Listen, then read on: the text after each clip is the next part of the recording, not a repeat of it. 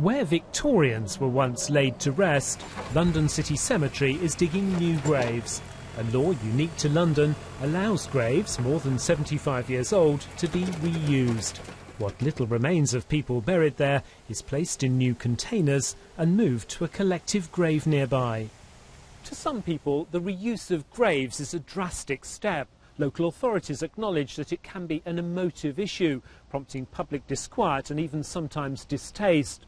But experts warn that the country faces a looming crisis in the disposal of bodies and that it faces the prospect of simply running out of space to bury the dead. Uh, a serious situation that really needs tackling now. Uh, it's been around for a long time, the knowledge of this problem, and government inaction over the last couple of decades has just led us further towards a looming crisis in our burial grounds. There we are, three chicken breasts.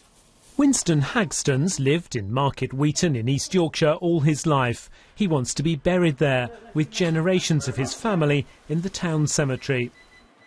But like others across the country, the cemetery is full. Mr Hagston might have to settle for a plot 20 miles away in Hull.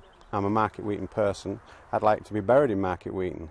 I find it very frustrating that the local powers that be, the local authorities, haven't found another suitable plot and I don't see why I should be taken elsewhere to be buried. I want to be buried in Market Weighton.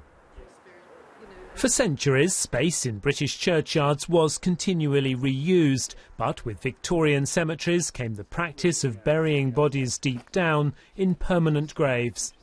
A lot of other Victorians were saying we shouldn't be doing it this way. This is not sustainable. This isn't going to work. Um, but the practice sort of like carried through, and that's kind of what we're stuck with now. And it's really time to go back and reconsider that.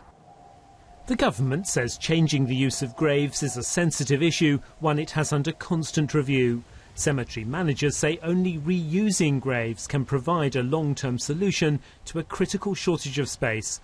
Robert Piggott, BBC News, Newham in London.